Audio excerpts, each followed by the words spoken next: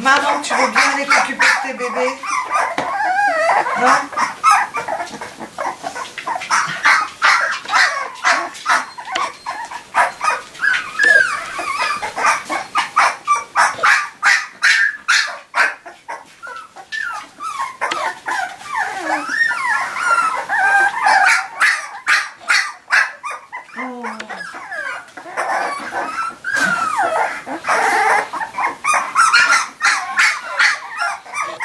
Allez, Hortense.